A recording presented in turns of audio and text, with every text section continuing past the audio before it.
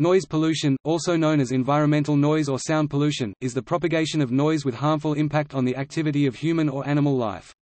The source of outdoor noise worldwide is mainly caused by machines, transport especially planes and propagation systems. Poor urban planning may give rise to noise pollution. Side-by-side -side industrial and residential buildings can result in noise pollution in the residential areas. Some of the main sources of noise in residential areas include loud music, transportation noise, lawn care maintenance, nearby construction, explosions, or young people yelling sports games. Noise pollution associated with household electricity generators is an emerging environmental degradation in many developing nations.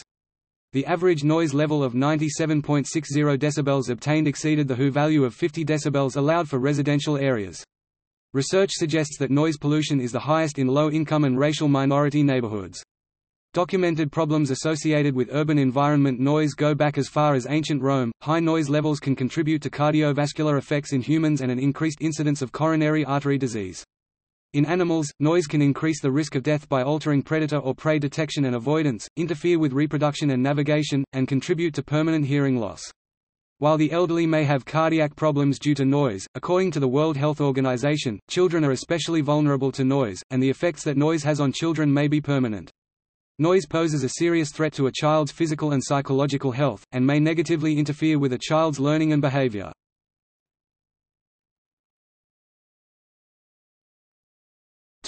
Health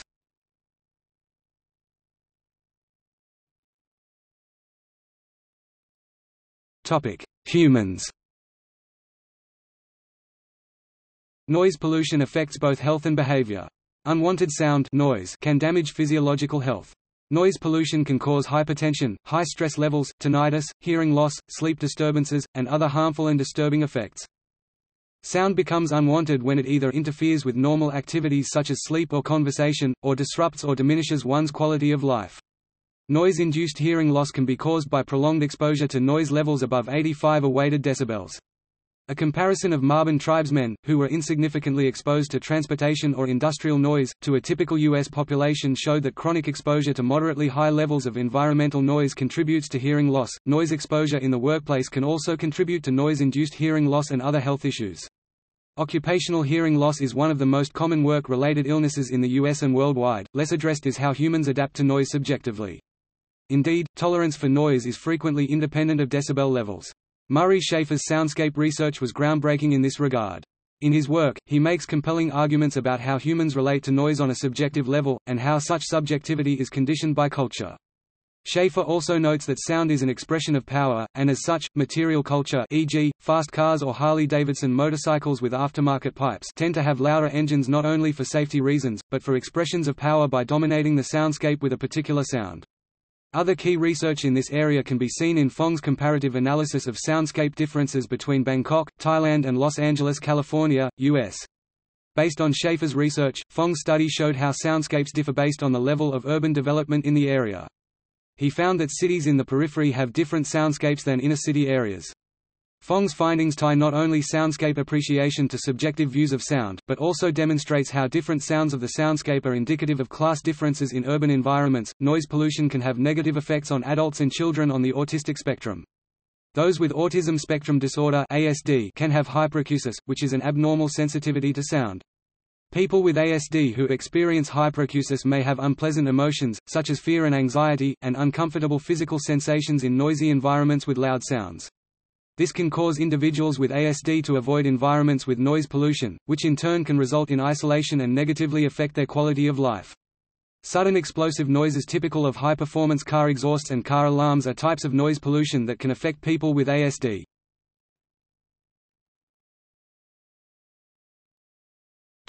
Wildlife Noise can have a detrimental effect on animals, increasing the risk of death by changing the delicate balance in predator or prey detection and avoidance, and interfering the use of the sounds in communication, especially in relation to reproduction and in navigation. These effects then may alter more interactions within a community through indirect domino effects. Acoustic overexposure can lead to temporary or permanent loss of hearing. European robins living in urban environments are more likely to sing at night in places with high levels of noise pollution during the day, suggesting that they sing at night because it is quieter, and their message can propagate through the environment more clearly. The same study showed that daytime noise was a stronger predictor of nocturnal singing than nighttime light pollution, to which the phenomenon often is attributed. Anthropogenic noise reduced the species richness of birds found in neotropical urban parks. Zebra finches become less faithful to their partners when exposed to traffic noise. This could alter a population's evolutionary trajectory by selecting traits, sapping resources normally devoted to other activities and thus leading to profound genetic and evolutionary consequences. Underwater noise pollution due to human activities is also prevalent in the sea. Cargo ships generate high levels of noise due to propellers and diesel engines. This noise pollution significantly raises the low-frequency ambient noise levels above those caused by wind. Animals such as whales that depend on sound for communication can be affected by this noise in various ways. Even marine invertebrates, such as crabs Carcinus maenas, have been shown to be negatively affected by ship noise. Larger crabs were noted to be negatively affected more by the sounds than smaller crabs. Repeated exposure to the sounds did lead to acclimatization. Higher ambient noise levels also cause animals to vocalize more loudly, which is called the Lombard effect. Researchers have found that humpback whales' song lengths were longer when low frequency sonar was active nearby. Noise pollution may have caused the death of certain species of whales that beached themselves after being exposed to the loud sound of military sonar. See also marine mammals and sonar. Topic: Noise control. The hierarchy of controls concept is often used to reduce noise in the environment or the workplace. Engineering noise controls can be used to reduce noise propagation and protect individuals from overexposure. When noise controls are not feasible or adequate, individuals can also take steps to protect themselves from the harmful effects of noise pollution. If people must be around loud sounds, they can protect their ears with hearing protection e.g., earplugs or earmuffs. In recent years, Buy Quiet programs and initiatives have arisen in an effort to combat occupational noise exposures. These programs promote the purchase of quieter tools and equipment and encourage manufacturers to design quieter equipment. Noise from roadways and other urban factors can be mitigated by urban planning and better design of roads. Roadway noise can be reduced by the use of noise barriers, limitation of vehicle speeds, alteration of roadway surface texture, limitation of heavy vehicles, use of traffic controls that smooth vehicle flow to reduce braking and acceleration, and tire design. An important factor in applying these strategies is a computer model for roadway noise, that is capable of addressing local topography, meteorology, traffic operations, and hypothetical mitigation. Costs of building in mitigation can be modest, provided these solutions are sought in the planning stage of a roadway project. Aircraft noise can be reduced by using quieter jet engines. Altering flight paths and time of day runway has benefited residents near airports.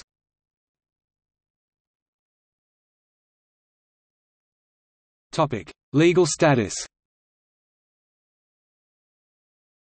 Up until the 1970s governments tended to view noise as a nuisance rather than an environmental problem. Many conflicts over noise pollution are handled by negotiation between the emitter and the receiver. Escalation procedures vary by country, and may include action in conjunction with local authorities, in particular the police. Topic India Noise pollution is a major problem in India. The Government of India has rules and regulations against firecrackers and loudspeakers, but enforcement is extremely lax. Awaz Foundation is an Indian NGO working to control noise pollution from various sources through advocacy, public interest litigation, awareness, and educational campaigns since 2003. Despite increased enforcement and stringency of laws now being practiced in urban areas, rural areas are still affected. The Supreme Court of India had banned playing of music on loudspeakers after 10 pm. In 2015, the National Green Tribunal today directed authorities in Delhi to ensure strict adherence to guidelines on noise pollution, saying noise is more than just a nuisance as it can produce serious psychological stress. However, implementation of the law continues to remain poor.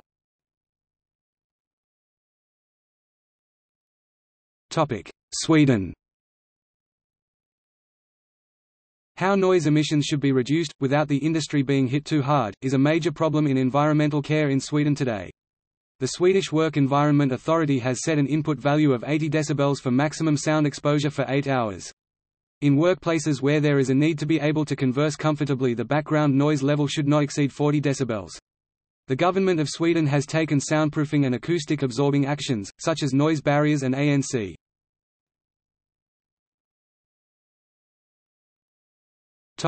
United Kingdom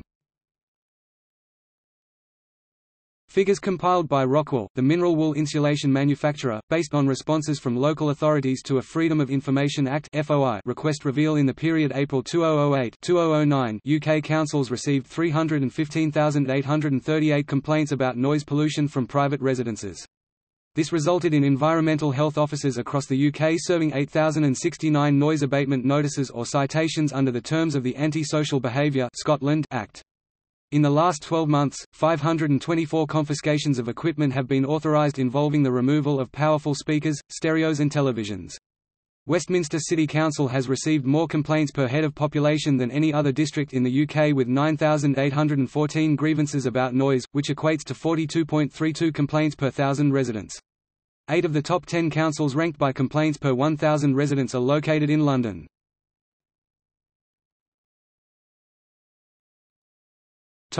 United States The Noise Control Act of 1972 established a U.S. national policy to promote an environment for all Americans free from noise that jeopardizes their health and welfare. In the past, Environmental Protection Agency coordinated all federal noise control activities through its Office of Noise Abatement and Control. The EPA phased out the office's funding in 1982 as part of a shift in federal noise control policy to transfer the primary responsibility of regulating noise to state and local governments. However, the Noise Control Act of 1972 and the Quiet Communities Act of 1978 were never rescinded by Congress and remain in effect today. Although essentially unfunded, the Federal Aviation Administration (FAA) regulates aircraft noise by specifying the maximum noise level that individual civil aircraft can emit through requiring aircraft to meet certain noise certification standards. These standards designate changes in maximum noise level requirements by stage designation. The U.S. noise standards are defined in the Code of Federal Regulations CFR Title 14 Part 36 Noise Standards, Aircraft Type and Airworthiness Certification 14 CFR Part 36. The FAA also pursues a program of aircraft noise control in cooperation with the aviation community. The FAA has set up a process to report aviation-related noise complaints for anyone who may be impacted by aircraft noise. The Federal Highway Administration FHWA developed noise regulations to control highway noise as required by the Federal Aid Highway Act of 1970. The regulations requires promulgation of traffic noise level criteria for various land use activities, and describe procedures for the abatement of highway traffic noise and construction noise. The Department of Housing and Urban Development HUD noise standards as described in 24 CFR Part 51, Subpart B provides minimum national standards applicable to HUD programs to protect citizen against excessive noise in their communities and places of residence. For instance, all sites whose environmental or community noise exposure exceeds the day-night average sound level (DNL) of 65 dB are considered noise-impacted areas. It defines normally unacceptable noise zones where community noise levels are between 65 to 75 decibels. For such locations, noise abatement and noise attenuation features must be implemented. Locations where the DNL is above 75 decibels are considered unacceptable and require approval by the Assistant Secretary for Community Planning and Development. The Department of Transportation's Bureau of Transportation Statistics has created a national transportation noise map to provide access to comprehensive aircraft and road noise data on national and county level. The map aims to assist city planners, elected officials, scholars, and residents to gain access to up-to-date aviation and interstate highway noise information. States and local governments typically have very specific statutes on building codes, urban planning, and roadway development. Noise laws and ordinances vary widely among municipalities and indeed do not even exist in some cities. An ordinance may contain a general prohibition against making noise that is a nuisance, or it may set out specific guidelines for the level of noise allowable at certain times of the day and for certain activities. New York City instituted the first comprehensive noise code in 1985. The Portland Noise Code includes potential fines of up to $5,000 per infraction and is the basis for other major U.S. and Canadian city noise ordinances.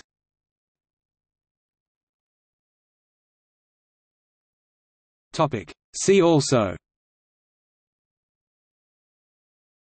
Environmental noise Aircraft noise Health effects from noise Loud music Light pollution Industrial noise Noise regulation Noise control Buy Quiet Acoustical engineering International Noise Awareness Day Noise Abatement Society Noise calculation